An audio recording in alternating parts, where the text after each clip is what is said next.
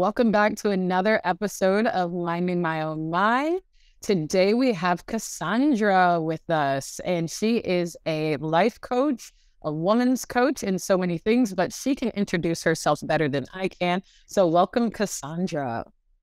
Thank you so much, Michelle, for having me. You know, my middle name is Michelle. Oh, I didn't know that actually. Cool. Yeah. Uh, well, thank you for having me. And hello, everyone. My name is Casandra Austin McDonald, and I like to say I'm a transformational genius and a coach for women, high performing women to activate their power so that you're creating the life, love, leadership, and legacy of your dreams in a fulfilling and aligned way. Mm, I love that. I love that. And so, what would you say is the main type of person that you're working with then? High performing professional and executive women who are killing it professionally and really high performing go getters. However, start to notice that they could work on their womanhood and their femininity a bit, work on their emotional intelligence and how they're showing up in their relationships, but also their feminine embodiment and leadership, how they're showing up in leadership. Because I have found a lot of high powered women who have not embodied their womanhood and femininity tend to approach leadership from this still very masculine approach and don't realize the power that we have as women to approach it intuitively and from their their power and in trusting and that's good enough instead of feeling like they gotta be like a man. Mm-hmm. I love that. I feel like so many of us are taught that we have to essentially embody masculinity and when we're going into these leadership positions. First of all, could you give a quick summary of what you think it means to be in your feminine and masculine energy, just for the people who aren't familiar with it? Yeah. So, what's interesting is I know it's like a hot topic on these internet streets right now, like feminine and masculine. I actually have very different beliefs about being in feminine and mm-hmm. masculine uh, I like to look at it as the different hemispheres of our brain, and instead of saying feminine, masculine energies, yin and yang, because those are the dynamics that are really like the the softening and then the strength part. Um, I feel like the issue is when we start talking about masculine, then the image that comes in our mind is a man but when we use terms like yin and yang or left and right hemisphere of the brain, we start to realize, oh, we have these dualities of ourselves where we get to lean into one or the other. And it's not about being like a man or being less of a woman. And so that's kind of my unique approach to it. And so for me, being in your feminine womanhood is being connected to your heart, to your spirit, to your essence, uh, being connected to joy, pleasure, bliss. It's it's like the inner game. yes. And, you know, a lot of times I hear people talk about feminine and womanhood online, and, and all they show is pretty pictures and spa days and looking nice. And although that becomes a byproduct of who you're being internally, that is not actually what it means to be in your feminine womanhood. To me, that just is a byproduct. Being in your feminine womanhood is is a way of being internally first, you know, from from within. And then when we're looking at what people would call masculine or looking at being using the other side of our brain is more so where that structure comes in, being more strategic, more analytical, more logical and that is beneficial too, especially as women who are running businesses and women who are in leadership and women who are running households. Like we do need both dynamics. And so that's how I, I like to look at those two different energies. Mm-hmm. I really love your concept of relating it with yin and yang. When people see these little yin and yang and they see like the little dots and the black and white, but what I think it's really representing is if you imagine that that line in the middle could just be fluidly moving, it's almost as if the balance is fluidly moving. In certain areas, you may need more of one than the other, but it's continuously in a fluid balance. And I think people don't necessarily take into account that when you're in your feminine energy, you do need your masculine energy in certain areas of your life, just as men and women and whoever, whatever you identify as, you always need a balance of the two So instead mm-hmm. of seeing the rest of this conversation for those listeners who are not understanding, basically we are talking about energies and we are not necessarily talking about genders or men and women, but we are talking about energies of masculine and feminine. And so going from there, just to get a little baseline before we go too, or not too deep, but really deep in it, because that's what we want to do. Could you talk a bit about the benefits of when women are in their masculine energies? What are the the key times that we notice that we're in those masculine energies? Uh, it's usually when we're getting things done, when we are being quote unquote productive, we are accomplishing things, we're achieving things, we are doing what's on the to do list that needs to be done. We may be leading something.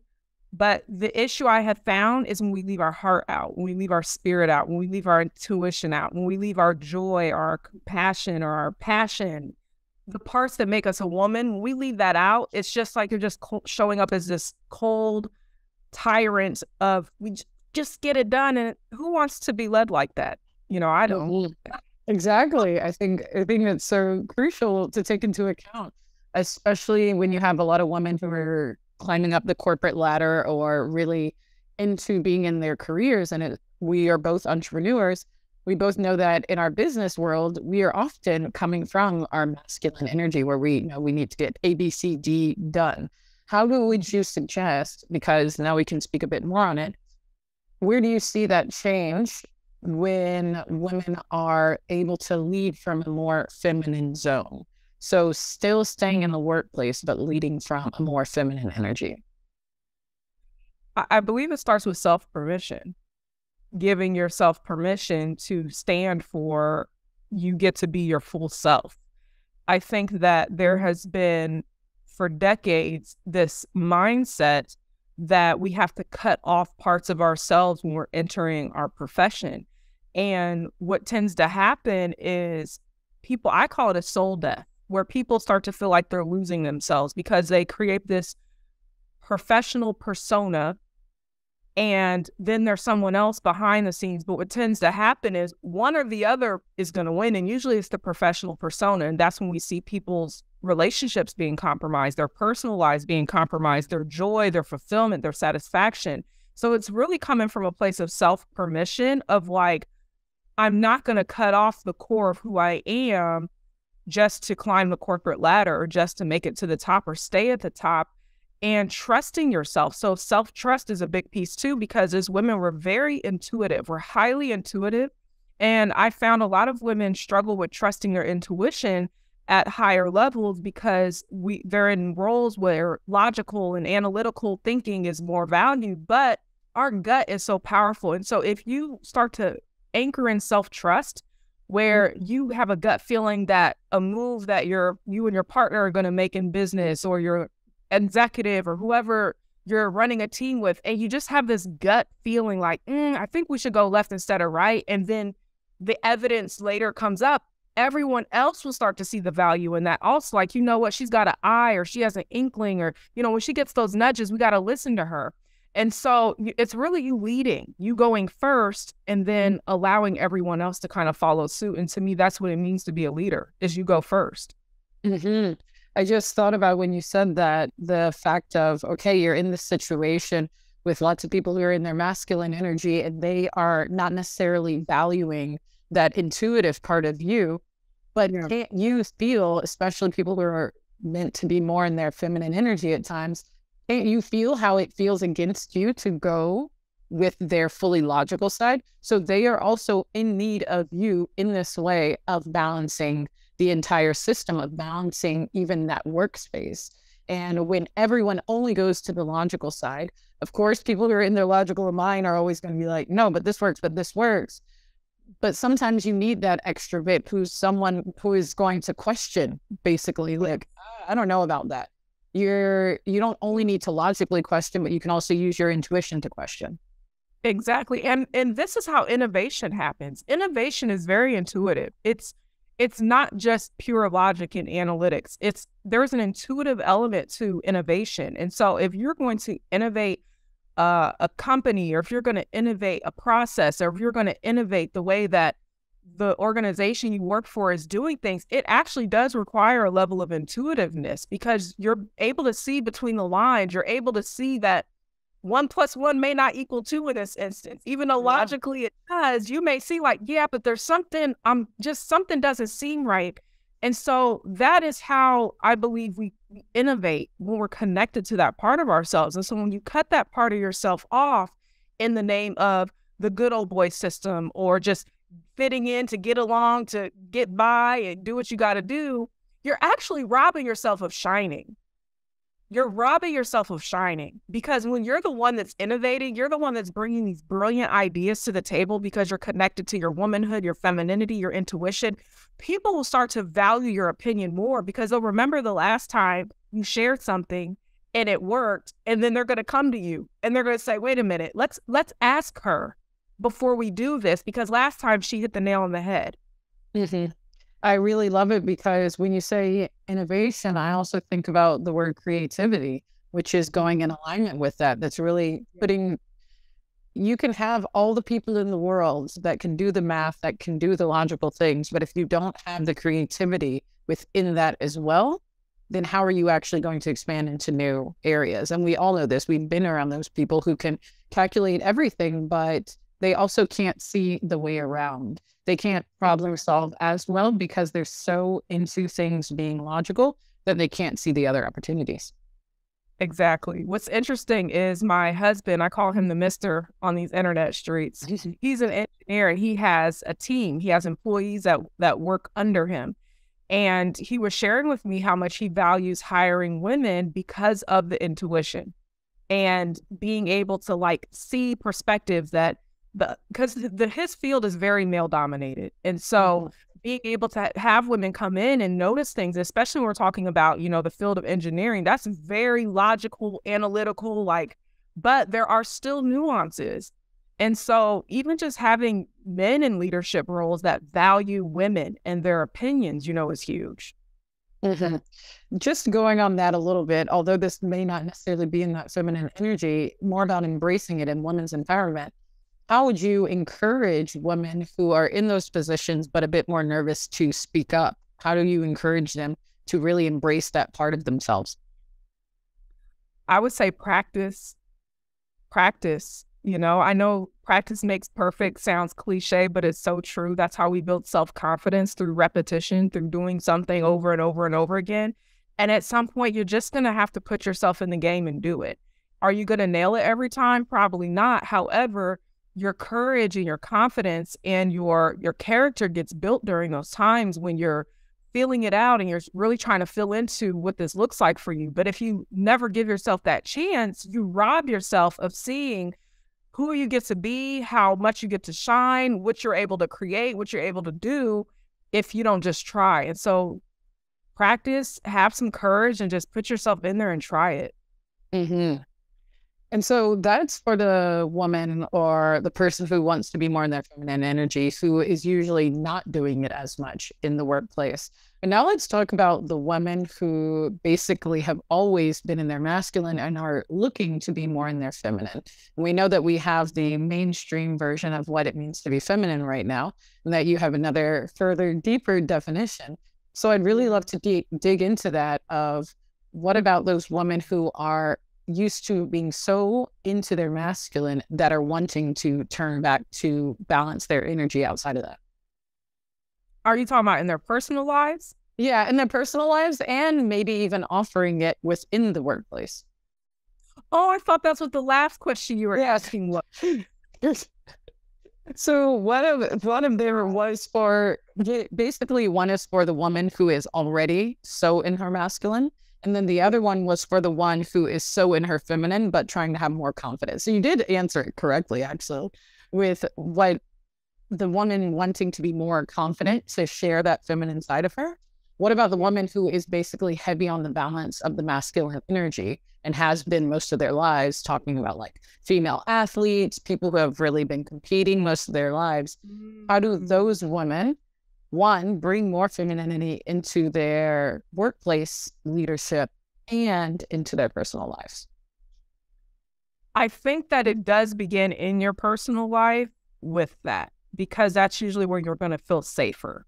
You're going to mm-hmm. feel safer in your personal life to start to relax and lean back a little bit and settle into, I call it our sacred self, which I believe is like this divine part of ourself, the God within, the Holy Spirit within, whatever your beliefs are. But learning how to be in more stillness so you can actually access your own voice and not the voice in your head, the voice in your heart, in your soul, and your spirit. And I it, it takes practice being sitting with yourself.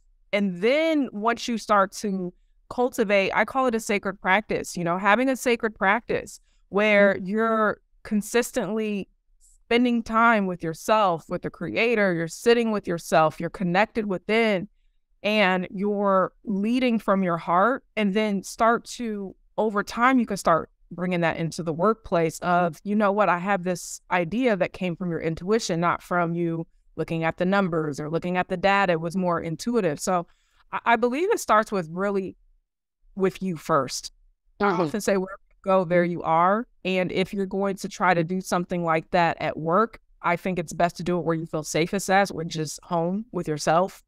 Mm-hmm. And then cultivate sacred practices where over time you're you're nurturing that part of yourself and then it, it starts to become more natural. Mm-hmm. I really think about when it comes to the workplace and the thing you said earlier about practice makes perfect it's also that if you stop practicing certain things that those things will go away. And for me with the practice makes perfect i could see where most of my life i hadn't been training. Um, i was an athlete i was training to be competitive all the time. I was still playing sports most of the time. I still play sports now but i'm not nearly as competitive now. And what mm-hmm. i realized is when i took that step back from being competitive for maybe like the past six months i felt a huge shift in my own energy and although I can turn my more intense doing energy, more masculine energy on when it comes to my work, which it takes more practice to get back into that flow, I was able to also step back and become more feminine in my regular life and be able to learn what it meant to take a step back and just be. So, what would you suggest to people who are still competing, women who are still dealing with these day to day things, how they can balance more in their personal life, especially when it comes to relationships. I totally understand what that's like because I was also a competitive athlete. I was a division one track and field athlete, highly competitive. Mm-hmm. it still comes back sometimes. there was a contest, your girl was trying to win it. Okay. still also sometimes, still there. I get it. It is. And you know, this is the thing. I believe in harmony, not balance. And so I believe in in finding harmony with all the parts of ourselves. I believe we have different parts of ourselves. And I don't think there's anything wrong with having a competitive edge. I think the issue is when you take that in every room you enter.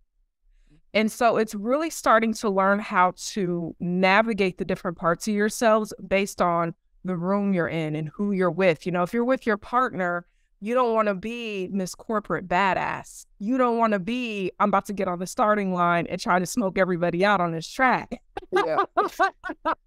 you know, so it's really starting to learn how to feel within yourself. Like, what does it feel like to be in the zone, comp- competitive, really trying to kill it and win it? And then what does it feel like to have my heart open and to be vulnerable and to connect? And then what does it feel like to have fun and be playful and be adventurous? It's like really starting to connect with these different parts of ourselves and being more conscious and aware. I think a lot of times people are running on autopilot. They are just so used to being one dimensional. We forget that we're multifaceted, multidimensional human beings. And so they're just used to just always being in charge, always being in control, always being competitive, always. And so you enter every room that way, but you're so much more than that. There's so much more to you than that. So it's really like turning your conscious awareness on and starting to notice who am I being when I enter this room? Mm-hmm. Who am I being as a mother? Who am I being as a partner? Who am I being as a leader? And starting to feel into that. Mm-hmm think it's so much about that self awareness and deciding that you want to do something different. And I think even with the vulnerability thing you were talking about, I think people in those competitive zones aren't used to playing in the vulnerability zone. I think most people no. are. That was something that took a lot of, I call it heart work and soul work, where we are cracking ourselves open from within our heart, our soul, our spirit. And for me, I actually spent a lot of my early adult years in a very hardcore, high achieving, get after it type of way, but it, it kept leading to cycles of burnout. Mm. And over time, I started to realize that this is not sustainable, it's not fulfilling, and I really desire to connect with my womanhood, with my femininity. And so it took practice, it took time for me to sit with the discomfort. It is it does feel really uncomfortable when you are not used to being open and vulnerable but if you can have the courage to sit through that over time, it starts to become more normal and you build the most beautiful connections with other people. I find a lot of, especially Black women and women of color, my clients who are Black women struggle the most with vulnerability, mm-hmm. the most. And it's the very thing that is robbing us of connection, of true relationships, of being seen for all of who we are, not just a go getter and a hyperachiever. And so I like to say in my work, I like to have people shift from being a high achiever to a high performer because I believe that there's a difference between the two. And when you can shift into high performer, you're not you're not just in this competitive hyper achievement mode 24/7.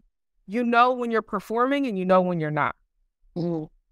Love that. Love that. I've never heard that. So I really love hearing that one. That's a great one. And going into that, um, looking at, of course, like women of color that have to deal with these pressures and women just dealing with pressures for the mere the mere existence of being a woman. We already have so many things.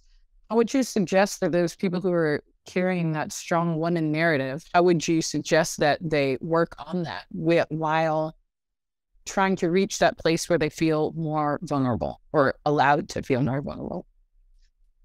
I, I always say the first step is once you're aware that you're being that way, is to acknowledge and give yourself permission to start shifting into doing something different. And so it can start with a conversation with the person you feel like you can trust and you feel safest with, whoever that person is, and just say, Hey, I've noticed that I show up this way in my life and this is something I really want to work on, you know, I'm I'm going to start practicing with you to be more vulnerable. Are you okay with that? Mm. And that was actually how I navigated vulnerability in my life. I found the closest friend I felt safest with and I told her I realized that I'm always in this really high achieving mode and I'm always in my head a lot and I realized that it's messing up my relationships and I don't feel fulfilled at work and I felt like my creativity was shot. And I just was vulnerable and said, like, I really want to work on this. Can I just start practicing with you? And it was messy at first. I didn't always nail it. You know, sometimes I, it just didn't come out right. However, in that over time, I learned how to be more comfortable with it. And it's just become a way of being now. Mm-hmm. Really like that idea of choosing someone specifically. I feel like in the way that I often speak on in you as well, that you need to be who you're wanting to become and be who the other person may also need to be. But usually, as the mm-hmm. strong woman, we may be the only strong person or the safe space for everyone else, but not everyone else is always offering us that safe space. So I think it's very important to look deeper into that as well. Who are you choosing? And making sure that you also are not taking on the strong woman arrow so much that you're being taken advantage of or that you're just not getting anything from it. Exactly. I, I really am a huge advocate for reciprocal relationships. And I often say that I retired my superwoman cape a long time ago. yes. Dang I always superwoman. burned it up is gone, you know? Uh, but for me, it, it really was about acknowledging that I was showing up that way and being very vulnerable with the people in my life. You know, when I was not okay, say that. When I needed to be supported, say that. When I didn't have the capacity and the bandwidth within myself to hold space for someone else, say that. Don't just mm-hmm. push through and try to be there for everyone because people expect you to be. When my husband and I relocated to Florida three and a half years ago, I went through a huge solitude season for me to recalibrate and readjust to that transition. And I straight up told people, I don't have the capacity for anyone else's ish right now. I just don't. And mm-hmm. so this is where you have to be honest with the people in your life and stop trying to hide like you got it all together and stop trying to pretend that you're perfect and stop trying to pretend like, you know, every everything in your life is okay. Like if you have things that are happening, open yourself up because people treat you how you teach them to te- treat you based on what you allow and what you don't allow. And so if you're showing up to your relationships in this very hardcore, I've got my ish together, I don't need any help, it's usually because you don't want to be seen. And that vulnerability piece may feel scary because you're afraid of what if I get judged? What if I get rejected? What if I get abandoned? But those very fears are actually robbing you of deeper, meaningful connections.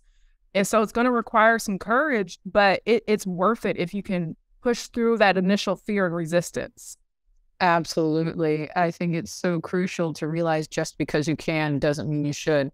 So just because I can hold a safe space for a lot of people doesn't mean I have to. And I think the mm-hmm. strength is coming from that boundary of saying, I can't do that. And one thing you really mentioned there was like just better communication, like say it and choose yourself first because you're the one in charge of your life in the end. Exactly. I find a lot mm. of I I have a part of my framework that that I talk about often is conscious communication and I find a lot of people just don't communicate effectively. And we make a lot of assumptions that people can read our mind. People should just know. They should be able to read our vibe and it's like, "No, my dear, we've got to communicate and we have to be open and tell people what's really going on. Not, not the surface, not the answer that sounds good, but really be open and honest about what's really going on and, and deliver it in a way where it can be received. Mm-hmm.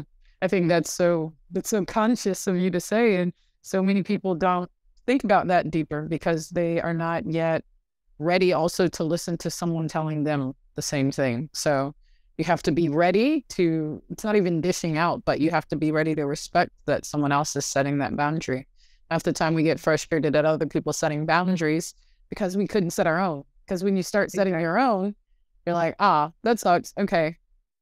We can continue because that I respect your boundaries. I think it's hardest for the people who don't respect boundaries or the people who don't have boundaries are the ones who get the most upset when you choose to set the example of doing it.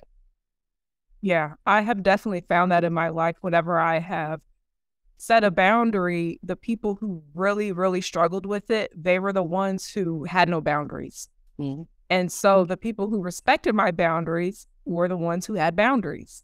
Yeah. And so you we really become a mirror of one another.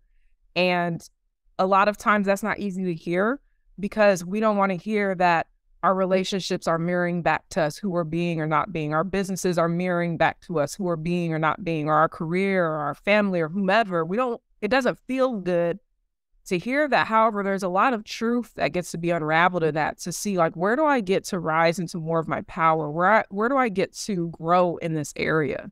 Mm-hmm. Absolutely. And so, going back a bit, talking about relationships. So, you were talking about womanhood and leadership. But I want to go back and talk a little bit about relationships. And I know that you have the story of how you manifested your mister. Maybe we can dive a little bit into that. And then mm-hmm. also how you stepping into your womanhood really helped with that. Oh my gosh. I was a totally different woman when I met him. oh, when I say I feel like I was so savvy. By the time I met him, I felt like I cracked all the codes where I was like, mm-hmm. I know how to do this thing. Like I had spent, I would say all of my 20s figuring out womanhood and dating and relationships and love and romance. And I learned how to discern the difference between emotional decisions versus intuitive decisions. I find a lot of women struggle with that. They can't tell the difference between the two and what it feels like in their body. And I had mastered this to the point where I was meeting really successful potential partners who had really successful careers, some doctors and attorneys and business owners, but I could feel in my intuition was like, that's a no. Mm-mm. It's not aligned. And so by the time I met him, I had felt like I was in this beautiful relationship with myself, beautiful relationship with myself. And it, it felt like it was complete divine timing it was complete divine timing that we we met when we met. We met on 8 8, August 8th. I have so Ooh. much synchronicity about the number eight. Woo, infinity, okay. it was so magical. but uh I'll share a little bit of my background and story if that's okay. And yes, when go ahead. Okay, so I got pregnant with my son at 19 when I was in college. And I realized after I had my son that his father was basically a replica of my father. And my father was a, an abusive alcoholic addict. And so when I realized that I was recreating a relationship dynamic that I grew up in and witnessed between my parents, I was like, what the heck just happened? And that's when I started learning about trauma bonds. And so we're talking about two decades ago before this stuff was even being talked about and I was learning about this stuff. And my I went to a campus counselor at the time and she was telling me that this is a trauma bond and what was your relationship like with your parents and how was your home growing up and I was like, "Wait, what?" Like I was so my brain was just like, "What?" I was like, I thought I was being intentional because when I left my my home, I was 16 when I left. I swore I would never be like my parents. I swear I would never have a relationship like theirs. It mm. would I would never have a toxic, dysfunctional relationship. And so I couldn't understand how, even with my highest intentions, I still attracted this person and this relationship into my life. And so this is when I realized how deep this stuff really goes.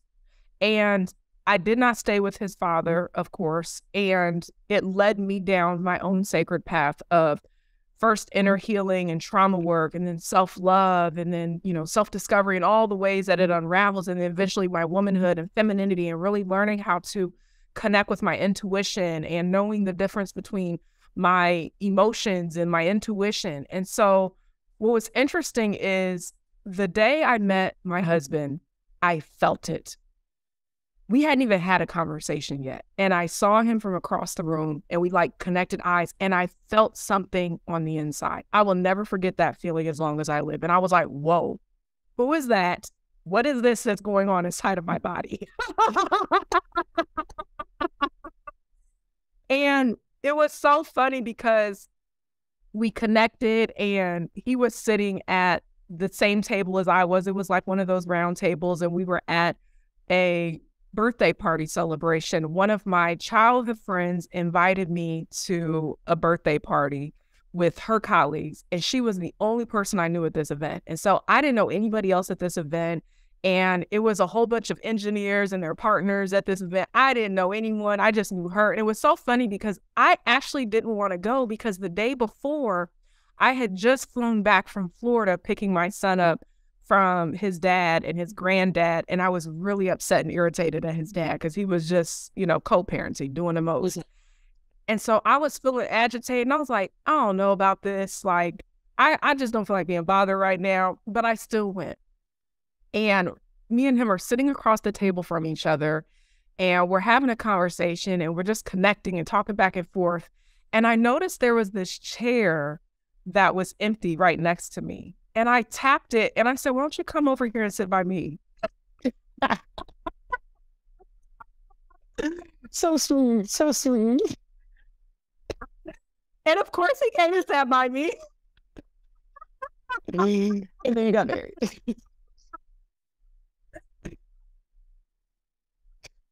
and he uh he asked me for my number because after this event, everyone was going to, it was called Stella Blue at the time. And it was this really cool, like lounge type of area where, you know, people more like in their 30s would go and listen to good music, have drinks, you know, have a good time. And he was asking, Are we going? Like, are you going to this next thing? I was like, I don't know. I got stuff to do. And my friend was like, Come on, let's go. Cause she was liking his friend. And she was like, girl, we done met some people. We need to get Let's go. Yeah. Teamwork makes a dream work. Yeah. So we went and me and him danced all night long and we we talked. I remember that night I overheard him tell one of his friends, there's something about her, she's special. I, I overheard him tell his friend that. And so it's like I feel like we knew since day one. And he's been calling me every day since. Oh, it's so cute. It's so cute. So you had been in that stage. You think it was your feminine intuition that had led you up to that point? Or what do you think you had worked on that made you more most ready for when he was coming into your life? Oh, everything. Everything. The trauma work, the relationship with myself, uh, learning how to be a woman, um, my emotional intelligence, working on my conscious communication, uh, really having a real grounding in who I am and knowing that I, I told him the day we met that I was at the time I was I was writing my trauma memoir that I self-published seven years ago. And I told him like, you know, I'm writing this book. My my calling comes first. I'm always going to put I feel like it's a God thing. And he just, he's always respected that. And so it's like I had this really groundedness, like I know who I am, I know what I've been placed on this planet to do, and I desire to have a partner. Uh, and so I was just very like I knew who I was. I was in my I was in my own essence. Mm-hmm. I think that just reflects so much on the importance of just working yourself and healing. I think even for myself, not to get off topic, but when I am fully in my healed, most like Michelle, yes, I love Michelle, not in an arrogant way, but in just like a I love me way. I feel the most mm-hmm. attractive. I feel the most happy. I feel the most everything. And you can feel your energy shift when you're in those states. Exactly. And I, I genuinely could say that when I met him, at that time, I was probably in the best place I had ever been in my life as a woman, as an adult, everything. Like I was in a really, really good place. I had been working on myself all the way around, like my finances. I had gotten myself out of debt and was saving and investing. Like I completely transformed my life. Mm-hmm. And so it was like, of course, I attracted this man into my life because of who I became. Mm-hmm. I think it also puts so much perspective into not saying people need to be alone because I don't think you need to be alone. I think we actually do need people, but allowing that space of not making it a dependency, allowing that space of two becoming whole together and being whole as yourself, but also being up. The word? Would you are upgrading your life? You're upgrading your life by coming together, but it doesn't mean that you were downgraded before. Precisely, precisely. And I strongly believe in interdependence. Uh, I believe that a lot of women are stuck in this independent, like Miss Independent, and hyper independence can actually be a trauma response. Mm-hmm. Feeling like you don't need anyone, feeling like you can do it all by yourself, feeling like you don't need help, you don't know how to ask for help. That's actually a trauma response. And so when we can learn how to be interdependent, it means that we can hold on to ourselves, we can hold on to our own authenticity, our own identity, and we can receive. And that's mm-hmm. where the mm-hmm. receivership comes in for fe- being a feminine woman. Yeah, I think that's so, so crucial. So crucial, especially being able to not. I think we're taught so much about being independent, especially if you had a single uh, parent home or when you are basically scared of being vulnerable and open again you get to this stage of I don't need anyone. And I am very independent, but I'm not going to sit here and say I don't need anyone, that I don't want a relationship, that I don't want these things. And when you're walking around saying that all the time, you're going to be gearing yourself towards that, right? What you say is what you're going towards. So if you're saying, I don't need no man, I can do it all by myself. Yeah, I can do it by myself, but I don't want to. Yeah. Yeah. I I have always even when I was single, I had male friends and I would let them come to my home and help me fix things in my house. And I have always been like, come help me. Come help oh. me. oh, no problems with receiving help. That was one of the best things I ever learned how to do. Receive some help over here. Yeah, this is like yes. I will re- gladly receive that help. Okay, I'm not too proud. Yeah. but I believe that's how I attracted my husband. Mhm. Be, he, this man, he probably could build a house if he wanted to. Like he's so handy, and uh, I don't have to worry about certain things. You know, if my car needs an oil change, he'll like see like, oh, we got to go get you an oil change, or we got to do this. Like I don't have to worry about certain things, and so me being in this relationship has actually helped me to deepen into my feminine womanhood because I was a single mom when I met him. And so I was very much still having to balance these two different dualities and energies because I was being the mother and the father. I I use that loosely, but I, I had to show up in dual ways as raising my son as a single mom. And so being in this relationship with my husband has really helped me to learn how to even soften my edges even more and how to lean back even more into my womanhood and femininity, but also when do I lean forward in my business and as a leader?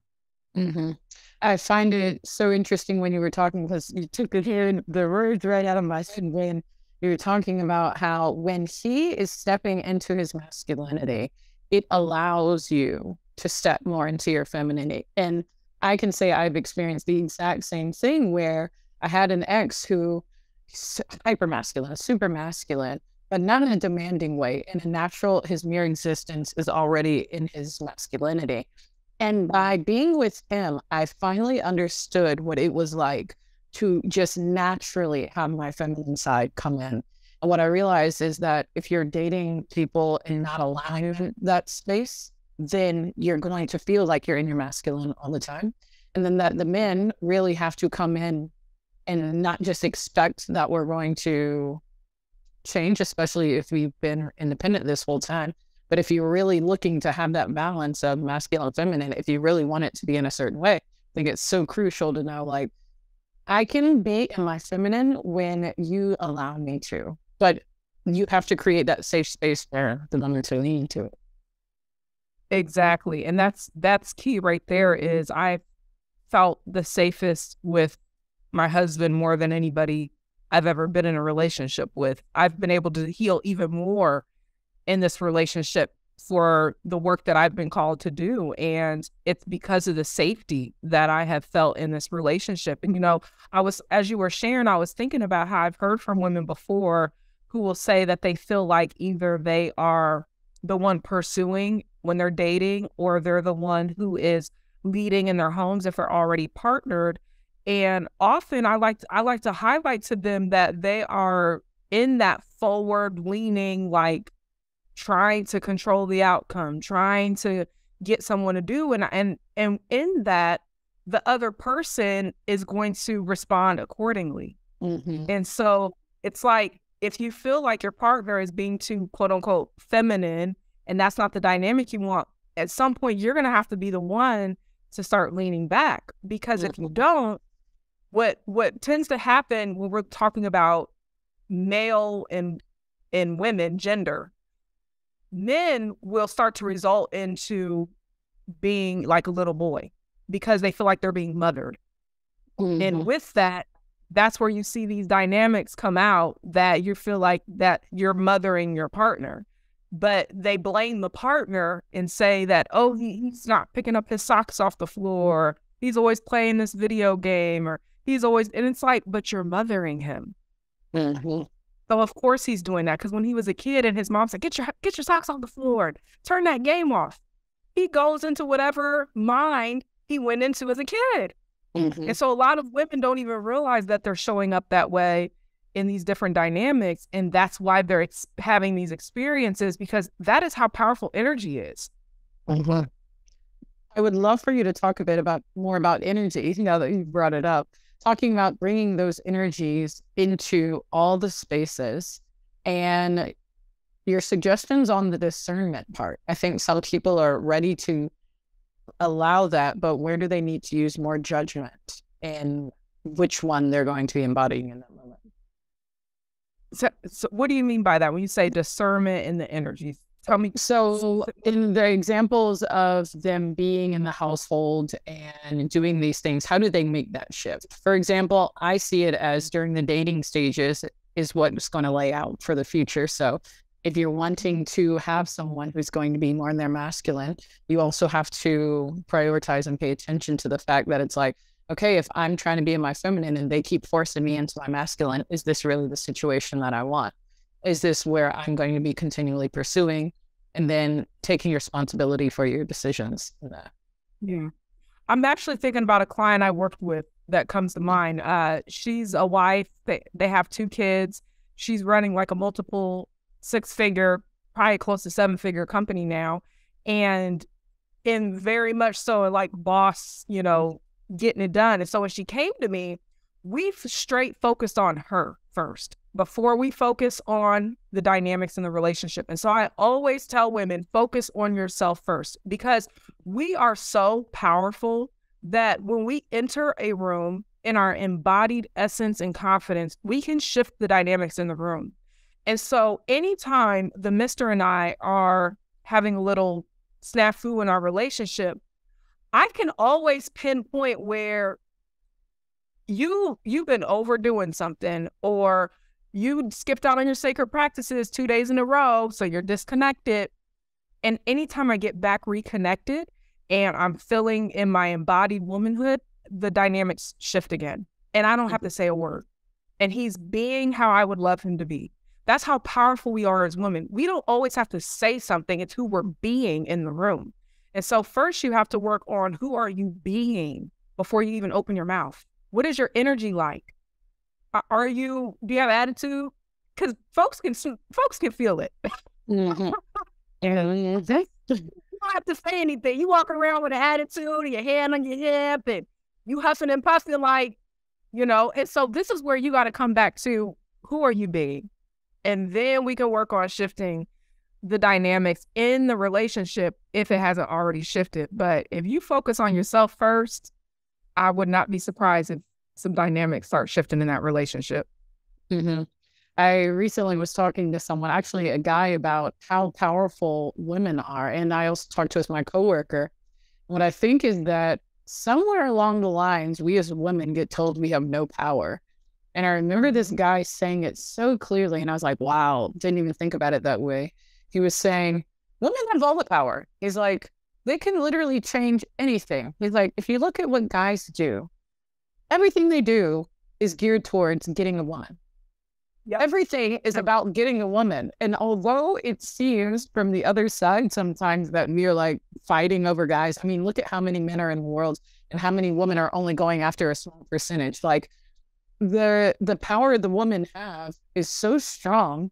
However, somewhere along the lines that we just forgot about it completely, or we were told that it doesn't exist. And we've gone onto this stage. And I think that's something that's so important in the work that we both do, where it's like re empowering the woman and realizing, like, go be that powerful woman, go have that powerful feminine energy, because that's actually significantly more than you're currently giving it credit for. So, could you expand on that a bit at all? Yeah, I, I first want to clarify the the difference of the power because I think mm-hmm. sometimes when people hear power, they hear force.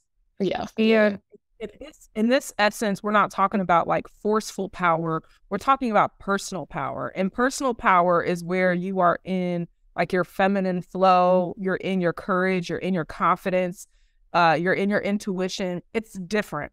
And I, I always like to clarify that because when we hear certain words, it sometimes triggers certain thoughts in our mind, and then we we think we got to go be this way. And so mm-hmm. we're not saying go be forceful. What we're saying is your presence is enough. You're mm-hmm. powerful in being who you are, but it's in the forcing where we tend to kill the vibe and overdo it and yeah when you're on the forcing you're going into the masculine energy you're going into the doing energy the the power we're talking about is in the being the power we're talking about exactly. is in the your existence is already in the power but when you try to go force things you're going yes. against you just being. Yes, exactly. Exactly. And so it's it's really it's a it's a perspective shift for sure and really understanding the difference between are you being or are you doing and knowing when is when it when is needed, what is needed and when. because oftentimes you can find yourself trying to overdo in a dynamic that's not necessary. And we can be like a human magnet, literally. Mm-hmm. Like I, I wrote this beautiful post the other day on my Facebook after an, an interaction with the mister and I were literally like I we were standing in the kitchen and I just I just felt like I just felt something in my heart and I was like, "Oh, like I felt like I wanted him. I felt des- I desired him." And he just leaned over and kissed me like it was like we are magnets. I didn't mm-hmm. say a word. I didn't ask him to do anything. I didn't lean into him. I was just being and I received. That is how powerful we are. And I know some people may be hearing this like, what the heck is she talking about? but if you can just start to be more curious about what it means to trust that you are enough and that who you are is enough and that you have magic inside of you and and just be curious. Start with curiosity because we're not talking about being a pro at this overnight. We're talking about just lean in with a little bit of curiosity and start to play with it. Experiment.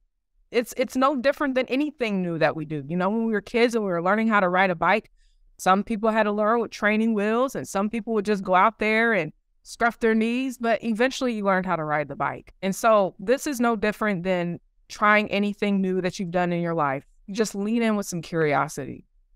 Absolutely. I love that magnet story because I actually even considered naming one of my programs Magnetic Energy because I'm so into this concept when you are just being, when you have fully embraced who you are, your energy, and all these things, and that the world is just around you, you see the magnetic parts happening. Like if you just pay attention, it's happening. You can feel people being drawn to you. You can feel people wanting to do things for you when you didn't even ask. And I just find it so fascinating, but you have to get to know yourself. You have to stop seeking outside validation. You have to start healing. You have to become fully yourself and embrace that power by just being because it the world will start to shift in your favor when you allow it. Precisely. Precisely. And so this was a fantastic talk today. I don't want to take too much of your time, and we'll definitely do this again. But I would love for you to share one last thing that you feel like the people, the women, the men, whoever's listening, what you would like them to know and take away today. Just the power of being a woman mm. and how we get to be with who we love, we get to do work that we love, we get to live a life that we love all at the same time when we're not cutting off parts of ourselves and trying to save the day and trying to be everything to everyone and nothing to ourselves. And so I know mm-hmm. that it may feel like it's challenging at times to lead this way, but I lead a me first in my life. I come first as a I'm a mother, I'm a wife, I'm a leader, I'm I'm a business owner. I come first because I realized if I'm no good, I can't be any good to anyone or anything else in my life. And it completely has shifted my life and it continues to shift. Even during the times I fall off a little bit, when I lean back into me first, everything falls into line after that. Mm-hmm. And the absolute last question that I love asking everyone what is something going off the or the phrase practice what you preach. What is something that you preach but find hard to practice? Oh what is something i preach but find hard to practice? That is a good question. Right now i am deepening my embodiment for self mastery as a leader. It's something I do walk with leaders in is self mastery with their mindset and their emotional intelligence and being powerful in the work they do. And I am noticing how I'm being called to elevate at a higher level. And so, with that, it's requiring more self mastery. And so, I would say right now, currently, it's me walking with the duality of teaching this and walking with others as I'm leading myself in this area. Yes, amazing, amazing. Always trying to up level, always trying to upgrade ourselves. Thank you so much for being here. Could you please tell the listeners how to find you? Yes, I'm all over these internet streets. Uh, I, I tend to hang out the most on Facebook and Instagram though. And I'm doing something really, really crazy. I'm doing a 365 day reel challenge on Instagram. And so if you want to just get to know me better and see what I'm about, I'm kind of putting little bits and pieces of who I am in the reels. And so you can connect with me there too. But I also have a free community on Facebook, The Empowered Self. And yeah, Facebook and Instagram is where I hang out the most. I am on other platforms like YouTube and TikTok, but I would say Facebook and Instagram is where you can find me the most. Fantastic. And I will leave all of her information in the show notes. Thank you so much for being here today. And we will talk soon.